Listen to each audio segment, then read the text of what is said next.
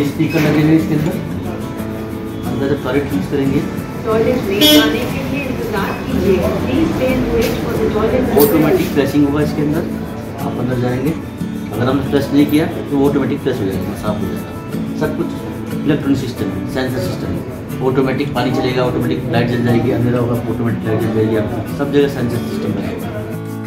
चमोली के नगर पंचायत पोखरी में राज्य स्थापना दिवस पर नगर पंचायत अध्यक्ष लक्ष्मी प्रसाद पंत के द्वारा विनायक धार में पिंक टॉयलेट महिलाओं और ई टॉयलेट पुरुषों के लिए लोकार्पण किया गया। इस दौरान नगर पंचायत अध्यक्ष लक्ष्मी प्रसाद पंत ने कहा कि नगर पंचायत में महिलाओं के लिए पिंक टॉयलेट और पुरुषों के लिए ई टॉयलेट विनायक धार में बनाया गया है। उनका उद्देश्य पोखरी को सुंदर और स्वच्छ बनाना है।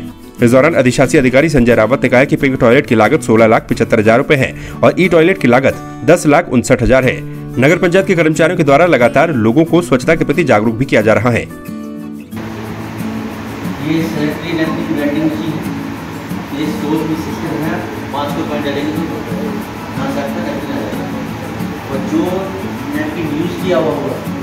तो आप है। इसके अंदर डालेंगे इसको यूज़ किए पैड को बंद करेंगे, इसको स्टार्ट कर देंगे ये आपका हम लोगों ने यहाँ पहला पिंक टॉयलेट बनाया उत्तराखंड के अंदर, जिसकी लागत सोलह लाख पचहत्तर हज़ार रुपये आई है। और पहला ही ई टॉयलेट बनाया, जिसकी दस लाख पैंसठ समथिंग पोस्ट आई है इसकी। इसको बनाने में हमें दो साल लग गए हैं, और ये दो साल से कभी आपदा के नहीं बन पाया था। लेकिन ये उत्तराखंड के लिए बहुत बड़ी सौगात है, नगर नगर पंचायत पोखरी ने भी सहयोग किया इसे बनवाने में, जो पहली बार लेके आए इस टेक्नोलॉजी को यहाँ पे।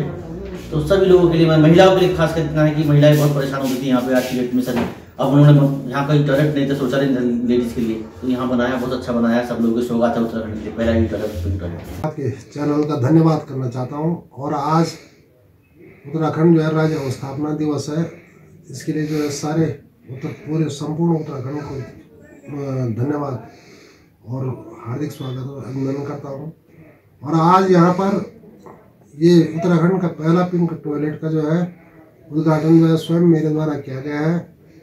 इससे पहले हमने देखा कि पिंक टॉयलेट जो है, जब नोएडा में बना था तो उसका उद्घाटन स्वर्गीय श्रीमती जो है, सुषमा स्वराज जी उसमें सूचना प्रसारण मंत्री थी, उन्होंने किया था। और आज मुझे जो है, ये सौभाग्य प्राप्त हुआ है कि पोखरी नगर पंचायत में जो महिलाओं के लिए पिंक टॉयलेट बनाया उसका उद्घाटन मेरे कर कमलों द्वारा हुआ है। पिंक टॉयलेट बना, जिससे कि माननीय अध्यक्ष जी द्वारा आज विधिवत इसका उद्घाटन कर दिया गया है। और ये पिंक टॉयलेट जो है, महिलाओं को समर्पित है। इसमें शौचालय के साथ साथ उन्हें सैनिटरी पैड जो बाज़ार में शर्म करे सैनिटरी पैड है, उसको नष्ट करने की वहाँ पे मशीन भी है। कुछ महिलाएँ जो है कि स्तनपान करने के लिए भी उसमें कक्ष का निर्माण किया गया है।